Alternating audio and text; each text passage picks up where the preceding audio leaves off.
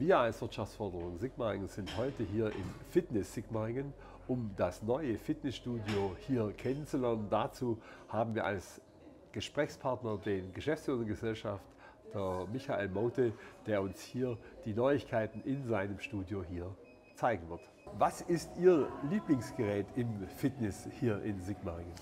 So, das spezielle Lieblingsgerät per se habe ich nicht, aber was mir sehr viel Freude bereitet, auch selber zum Trainieren, sind die hochmodernen elektronischen Kraftgeräte, wo eine unglaubliche Trainingssicherheit, aber auch Effektivität im Training darstellen. Hier sind wir jetzt in unserem Kraftwerk, das heißt wirklich back to the roots.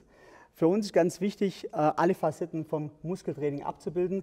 Da gehört für uns dazu Beweglichkeitstraining, dann ist hochmoderne Training an elektronischen Kraftgeräte, aber auch hier wirklich das klassische Krafttraining mit freiem Gewicht. Warum sind Sie denn überhaupt nach Sigmaringen gekommen? Wie kam es zu dieser Standortwahl hier in Sigmaringen?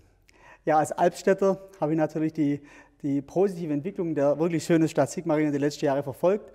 Und durch die Nähe zu meiner Heimatstadt Albstadt war es für mich natürlich auch attraktiv, weil es mir so möglich ist, auch wirklich selber persönlich vor Ort zu sein. Und offen gesagt auch unsere von Beginn an sehr konstruktive öffentliche Gespräche mit der Wirtschaftsförderung hat uns natürlich auch noch die Entscheidung leichter gemacht. Herzlichen Dank für Ihre Einblicke. Wir wünschen hier Ihnen sehr viel Erfolg in Sigmaringen. Und wo sind Sie denn überhaupt? Wo ist denn das Fitness hier in Sigmaringen? Ja, zunächst mal vielen Dank für den Besuch. Wir sind hier in der Zeppelinstraße im Z2, dem ehemaligen Vögelareal. Wir freuen uns auf Ihren Besuch.